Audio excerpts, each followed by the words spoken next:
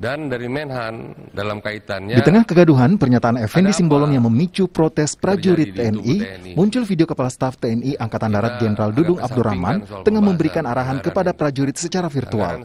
Dalam cuplikan video terdengar kekecewaan Dudung atas pernyataan Effendi Simbolon yang menyebut TNI seperti gerombolan. Dudung mendorong para perwira ikut bersuara dan tidak tinggal diam. Jangan kita diam saja. Dia siapa? Gak berpengaruh. Gak berpengaruh. Harga diri kehormatan kita. Kok diinjak-injak sama dia? Karena saya tahu juga dia dapat angin masalahnya.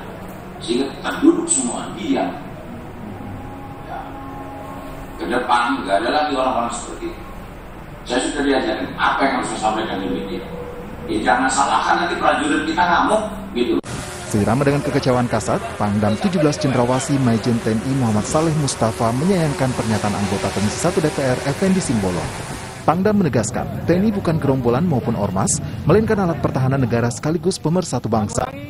saya sangat menyayangkan sangat menyayangkan bahwa TNI ini lahir dari rakyat dan sejarah perjuangan yang uh, tidak mudah negara lahir dan terbentuk begitu juga lahirnya TNI tidak ada satupun negara di dunia yang PNI-nya atau militernya itu bersifat gerombolan. Tidak ada ya.